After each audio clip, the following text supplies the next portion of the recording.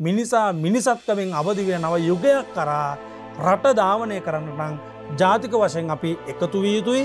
සහ මේරට එනි මිනිසු වෙන රටවලට ගිහිලතිරනම් ඒරට වලට යම්යම් දේවල් කරලා. යම්ම ආකාර ඩොල සංචිත රටතුර ගෙන මේ ගෙන ඒ මේ වැඩ පිළිලක් අපි අපේ තුර රැකෙන වැඩ පිළිවෙලක්. අප අප සංස්කෘතිය රැකෙන වැඩ පිළිවක් අප ජාතිකත්වය ආගමිකත්වය පසුබිම අප අධ්‍යාපන මේ සියල්ල සැකසන වැඩ පිළිවෙලක් සකස් කළතු